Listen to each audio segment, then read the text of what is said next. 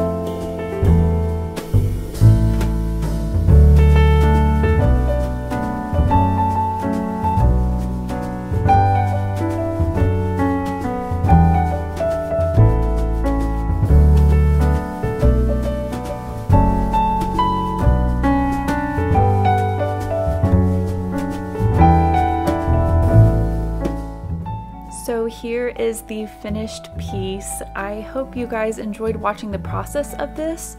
I really enjoyed making it. I was kind of in an art rut at the time and I was really pleased to finally make a piece that I was proud of. I tried to push myself using colored pencils with gouache, um, which was something I'd, I hadn't really done much before and I'm really pleased with the result. But now let's open some happy mail from Leigh.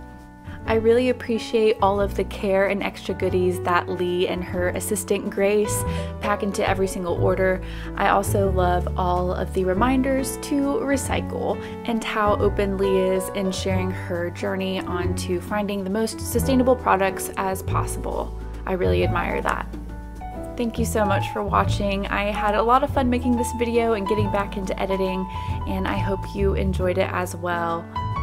If you'd like access to some more YouTube videos, each month for my $8 Patreon level, I come out with a Draw With Me video, and they get to choose what species I draw, so we have a lot of fun over there. If you'd like to see some more videos, you can check that out.